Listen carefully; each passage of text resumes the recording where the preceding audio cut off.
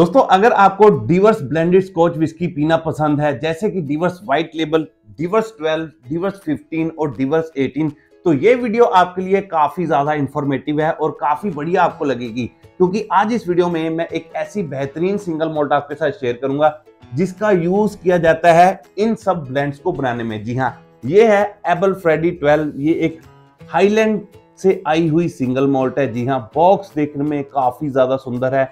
Black colour के box में आती है, जिसके ऊपर गोल्डन के साथ लिखा हुआ है, जो कि देखने में काफ़ी ज़्यादा एंटीक काफ़ी प्यारा लगता है। 12 साल पुरानी ये एक सिंगल मोल्ट है और इसको ओ कास्ट में मेच्योर किया गया है। चलिए एक बार अनबॉक्स करके मैं आपको बॉटल दिखा देता हूँ।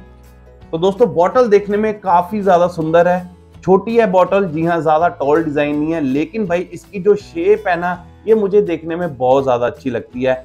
ब्लैक लेबलिंग आगे काफ़ी अच्छी लगती है जिसके ऊपर गोल्डन के साथ लिखा हुआ है जो कि एक काफ़ी आई कैचिंग है। जी हाँ बॉटल अगर आपने आ, कहीं देखी हो या फिर किसी को प्रेजेंट करो तो एकदम से नज़र इसके ऊपर जाती है। 12 साल पुरानी है ये इसको ओक कास्ट में मैच्योर किया गया है। हाईलैंड रीजन से ये आती है और इसी का ब्लेंड आपको यही सिंगल मोल्ड देखने के लिए मिलेगी, जितनी भी आप डिवस की स्कॉच विस्कीज पीते हो।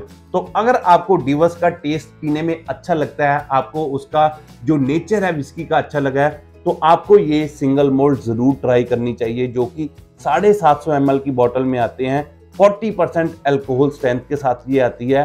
और पंजाब में अगर प्राइस की बात की जाए तो ये 4000 से 4500 की आपको मिल जाएगी।